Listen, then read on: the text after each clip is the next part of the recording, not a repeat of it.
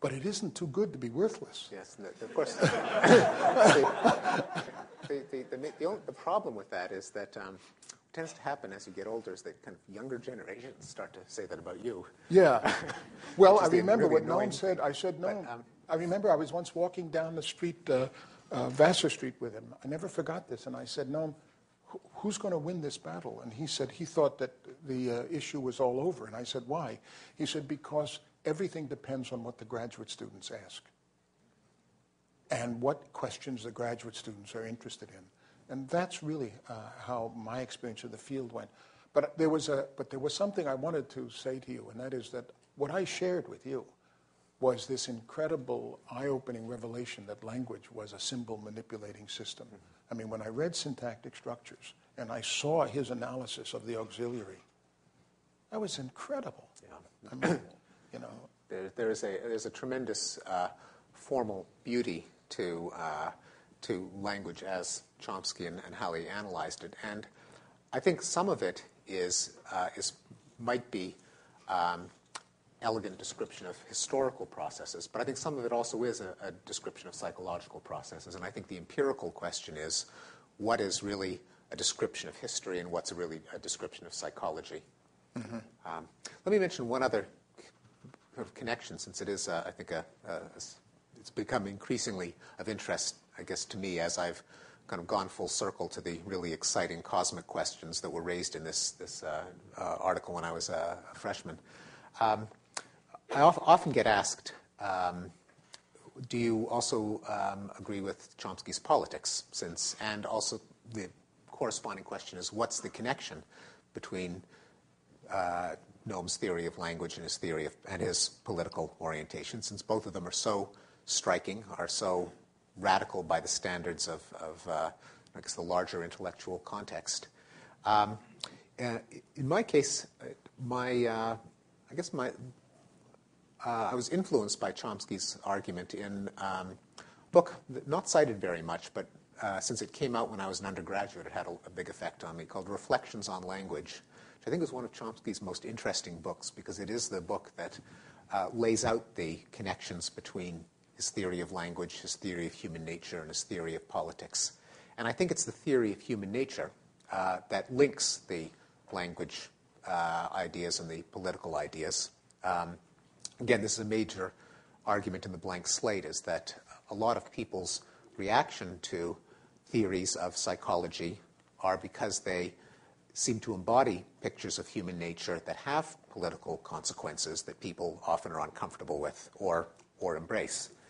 Uh, in the case of um, the um, Chomsky's the, the, link between his politics and his language, he properly says these are logically independent. Uh, one should not be judged in terms of the other. One can be right, the other can be wrong, but that there is a discernible thread. Uh, and the discernible thread for Chomsky is that um, his, his view of his, his politics are those of, uh, he describes himself as a libertarian socialist for many people, that's an oxymoron, but uh, also uh, an anarcho syndicalist. Yes, anarcho syndicalist. That is a kind of a left wing anarchist as opposed to a kind of right wing Ayn Rand uh, capitalist anarchist. Uh, and the idea is that people have a spontaneous uh, tendency to cooperate, to produce for the sheer sake of it. We're just creative, productive organisms that have an autonomous need to create, uh, to express our thoughts, to create works of art, works of science, without regard for the reward or the consequences.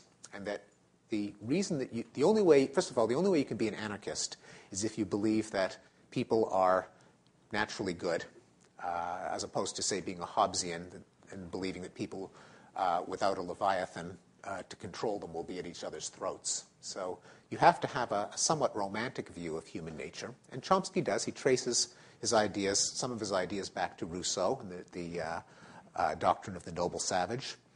And if you are um, not a capitalist, if you believe that uh, people don't have to be motivated by wages or profits, you have to have a conception of the human that we have an endogenous, spontaneous need to create for the sake of it. And in fact, the, the early Marx, who Chomsky also cites favorably, had this as part of his theory of alienation, that there's a natural human tendency to produce and cooperate, and that social institutions of capitalism kind of uh, suppress that, and also suppress the natural human uh, tendency to affiliate, to cooperate, to form uh, harmonious communities.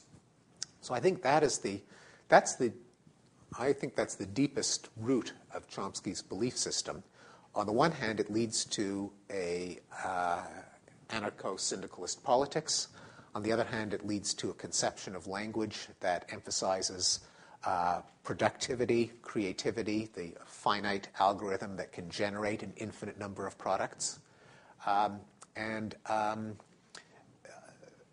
where I, um, and it, uh, I'm sorry, the third thing is it also leads to a view of the evolution of language that would de emphasize the utility of language as a system of communication, but rather say that language is not for communication, communication being something where you expect some effect and you do it in order to uh, get some effect on your uh, back from the person with whom you've um, shared information, but rather it's just a endogenous system for externalizing or expressing thought. And language not being useful, simply being an urge to create or express, therefore can't be explained in terms of its beneficial consequences, which of course is the essence of Darwinian natural selection. Things are selected because they're useful. Uh, they, they get you things. You, you tell someone else where the berries are, they tell you where the fish are. Both of you are less likely to starve. You have more babies. Those linguistic abilities uh, are passed on. That's the opposite of Chomsky's view, where language has nothing to do with finding out where the berries are. It's just an urge to create. And that's some, that is, I, I have to say that that's a view which is, I think, fascinating and, and in some ways beautiful, but it's very different from my view. Uh, being a more rooting my own nativism in, in um, evolutionary biology, uh, I'm more impressed by um, uh, the Darwinian uh, arguments and evidence about where innate things come from. And that makes it very hard to think of humans as, uh, first of all, developing any complex system uh, outside the evolutionary process, but also leads to a, a more Hobbesian view of human nature that uh, I'm not an anarchist. Uh, I think liberal democracy is a very good thing, um, partly for reasons that Hobbes pointed out, namely that uh, in a state of anarchy, I think the empirical evidence suggests that um, anarchy in the dictionary sense of no government leads to anarchy in the vernacular sense of violent chaos. And so politically, I certainly part company from, from Chomsky in not being a, uh, a radical or an anarchist, but being a, a moderate and a, uh, a big fan of liberal democracy. Uh, and it's because I think the view of human nature that impresses me is one that emphasizes that, uh, that we, although we do have a, a, some tendency to cooperate, there's also a, a, dark side to human nature. And uh, that's the fundamental split. I think your description of, uh, of um, Chomsky's um, uh, focusing on the creative impulse in human